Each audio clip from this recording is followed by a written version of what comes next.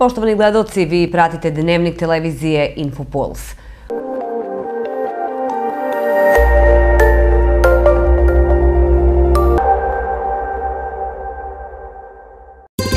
Svako od vas ima neku kafansku priču.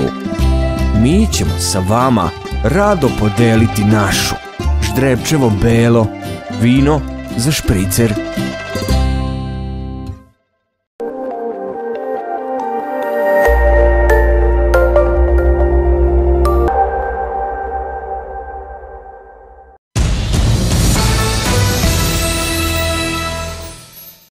U industrijskoj zoni Bunuševac 2 u Vranju svečano su otvoreni radovi na izgradnji vodovodne atmosferske i kanalizacione mreže.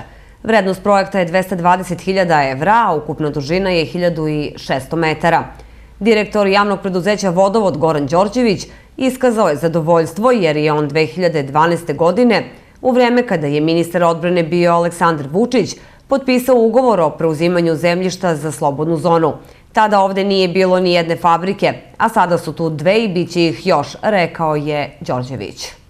Ove radove koje smo otpočeli, znači vrednost radova je cirka 16 miliona dinara i odvijaju se u jednoj fazi. Znači rok za izvršenje svih ovih radova je 90 dana. Radi se o izgradnji atmosferske kanalizacije, kanalizacije i vodovodne mreže i sve zajedno je negde dužina oko 1600 metara i po 500 metara u, u principu i vodovod i kanalizacija i atmosferska voda.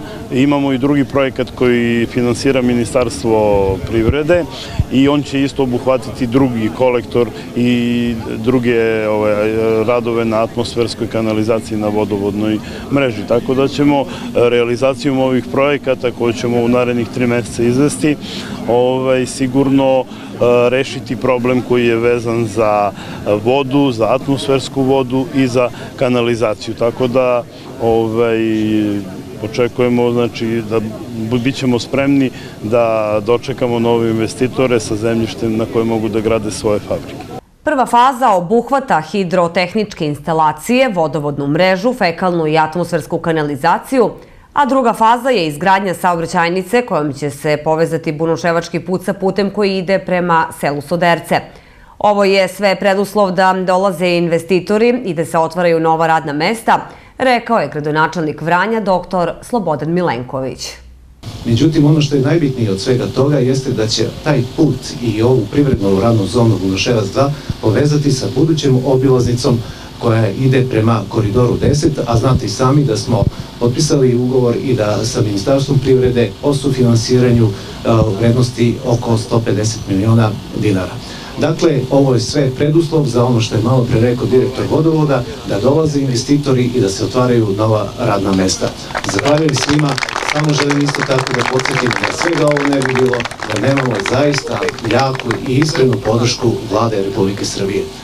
A o naporima koje rukovodstvo države čini kako bi smanjilo stopu nezaposlenosti govorio je Slaviša Bulatović, narodni poslanik.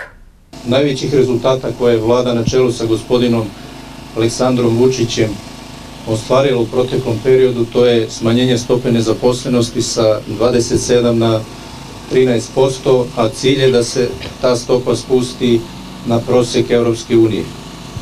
To zaista nije bio lak zadatak, ali glavni uslov koji smo trebali ispuniti za tako nešto, to je stvaranje uslova za dovođenje investitora i otvaranje novih radnih mesta. Upravo ono što mi danas ovde radimo, čemu i vi prisustujete, to je stvaranje uslova da Vranje uz odgovorno gradsko rukovodstvo i rukovodstvo javnog preduzeća Vodovod i naravno uz podršku države Republike Srbije, premijera i budućeg predsjednika Republike Srbije stvori uslove za otvaranje novih radnih mesta i dovođenje novih investitora. Ja verujem da će i Vranje stopu nezaposlenosti u narednom periodu smanjiti i da će što više naših sugrađani i komšija naći radno mesto u Vranju. Inače, planirani rok za završetak radova je 90 dana. Projekat finansira grad Vranje sa 10% uz podršku Evropskog progresa.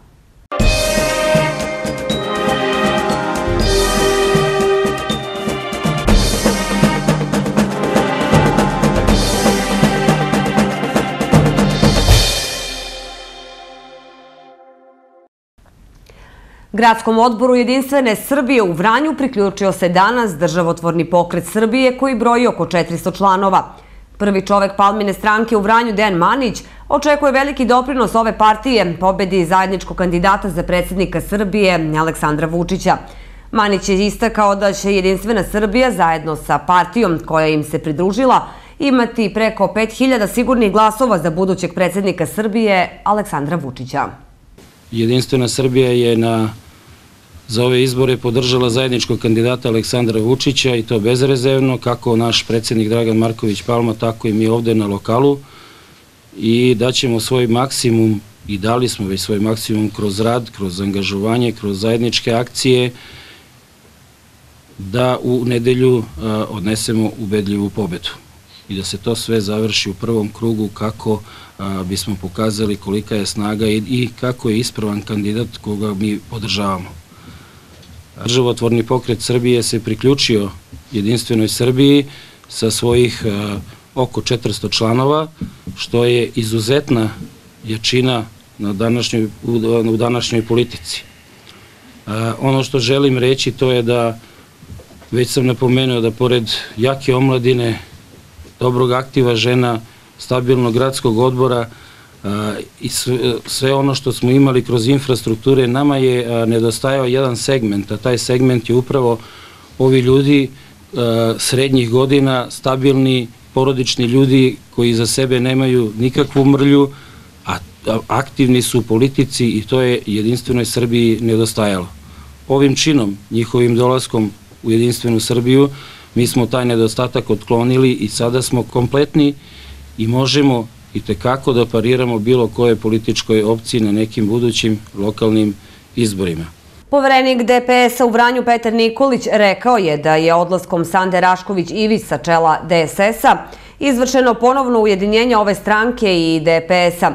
Međutim, ogranak DPS-a u Vranju doneo je odluku da se ne vraćamo u DSS, već da se pripojimo nama srodnoj stranci, a to je Jedinstvena Srbija.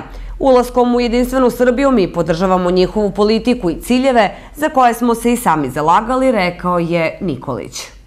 Mi, ogranak državotvornog pokreta Srbije u Vranju, donali smo odluku da se ne vraćamo u DSS-u, već da se pripojimo nama srodnoj stranci, a to je Jedinstvena Srbija. Tako da celokupno članstvo je prešlo na strani Jedinstvene Srbije. Surdulički odbor i pokreta dveri Srpske radikalne stranke, Demokratske stranke i pokreta Dosta je bilo, u saopštenju za javnost izrazili su sumnju da je simpatizerima i članovima Srpske napredne stranke naloženo da javno glasaju za Aleksandra Vučića kako bi zainteresovani svakako bili sigurni u njihov glas. Čelnici opštinskog odbora Srpske napredne stranke u Surdulici su u strahu da neće uspeti da ispune traženu kvotu od 11.000 glasova za Aleksandra Vučića i iz tog razloga su naložili svojim članovima i svima na čiji siguran glas računaju da na predsjedničkim izborima svoj glas daju javno, pred celom komisijom stoji između ostalog u saopštenju. Predsjednički kandidat Milan Stamatović pozvao je protiv kandidata iz opozicije na hitan sastanak na kojem bi razgovarali kako da spreče zloupotrebe na biralištima i trgovinu sa kontrolorima. S obzirom na to da mu se utorak još niko nije javio niti je oglasio, poziv je, kako kaže, i dalje otvoren – Stamatović navodi da će se glasovi sa Kosova brojati u Raški i Vranju bez učešća predstavnika opozicije, da je učinjeno sve da se onemogući da svoje biračko pravo ostvari nekoliko miliona državljana Srbije koji žive u inostranstvu.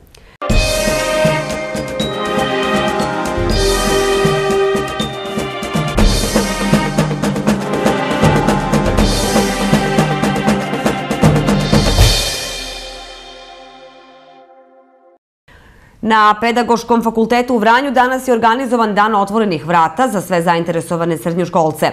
Organizovane su raznovrsne aktivnosti kako bi se budući studenti upoznali sa svim potrebnim informacijama o pripremnoj nastavi, upisu studijskim programima koji su akreditovani na ovom fakultetu.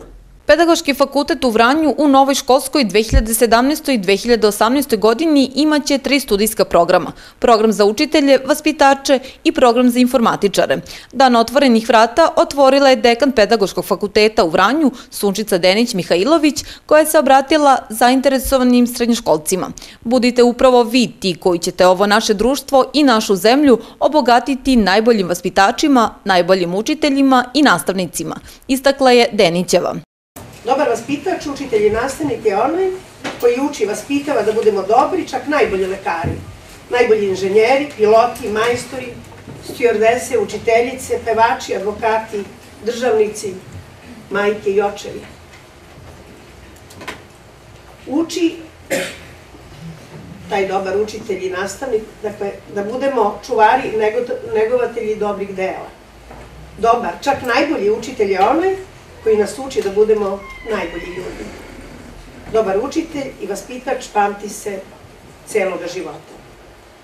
Poštovani uče, učenici, budući studenti, budite upravo vi ti koji ćete ovo naše društvo i ovu našu zemlju obogatiti najboljim vaspitačima, najboljim učiteljima i najboljim nastavnicima. Stvarajte plemenita i stabilna bića kako bismo imali stabilnu i lepu budućnost. Budite deo grada Vranja. Vašeg grada ili onog koji će biti vaš. Obogatite ga mladošću i vedrinom.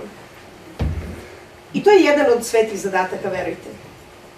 Obećavamo vam da ćemo vam u tome pomoći i da ćete uspeti. Dobrodošli na Pedagoški fakultet u Vranju. Ove godine Pedagoški fakultet upisuje ukupno 260 studenta na osnovnim studijama i to 120 na smeru za učitelje u Vranju, 40 na smeru za učitelje u isturenom odeljenju u Negotinu, 50 na smeru za obrazovanje vaspitača i 50 na smeru master profesora tehnike informatike. Srednjoškolci su takođe imali priliku i da pogledaju promo film o Pedagoškom fakultetu.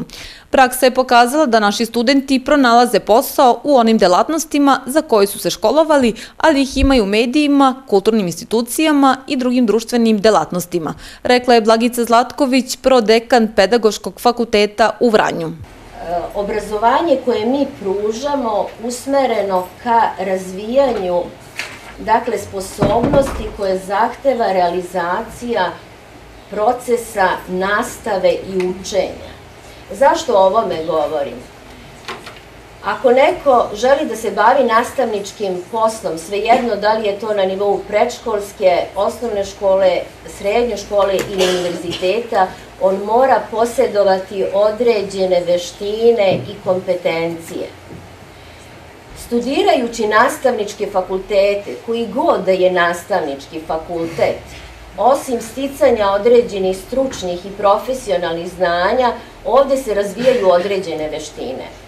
Organizovati proces nastave podrazumeva privući pažnju onih kojima se obraćamo. To znači poznavati ljude kojima se obraćamo i poznavati neke njihove potrebe. To znači odabir načina kako da se obratimo i to znači savladavanje nekih komunikacijskih veština koje će nam u tome pomoći. Kada je reč o prijemnom ispitu, vrši se i provera govornih, muzičkih i fizičkih sposobnosti. Na smeru učitelja i vaspitača polaže se test srpskog jezika i opšte informisanosti, a na smeru tehnike informatike, test matematike ili informatike i test opšte informisanosti. Sve informacije zainteresovani srednjoškolci mogu pronaći i na sajtu Pedagoškog fakulteta. Ansambal pozorišta Bora Stanković nalazi se na mini turneji u Makedoniji. Predstava Ženski razgovori gostovala je sinoć u Štipu, a večeras će glumci nastupiti na Međunarodnom festivalu Bela Zora u gradu Sveti Nikole. Posle dužeg vremena predstava Ženski razgovori biće odigrana i u Vranju u petak 31. marta u 20 časova u Domu vojske.